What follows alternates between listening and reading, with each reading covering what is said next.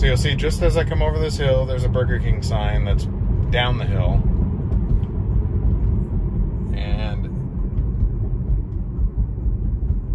it's going to try to stop. Stopping for traffic control for a Burger King sign. And what are we doing? Still slowing down.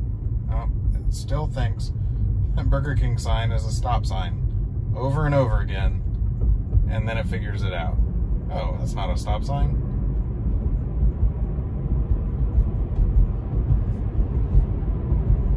Not a stop sign.